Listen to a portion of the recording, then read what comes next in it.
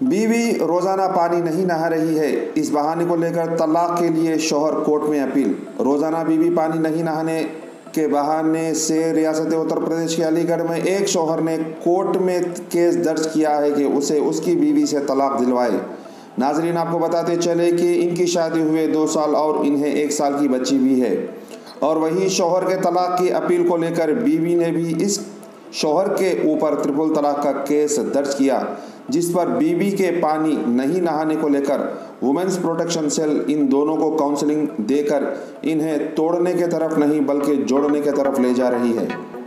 Syed Mahmood Peer, bureau report, the Peer Times.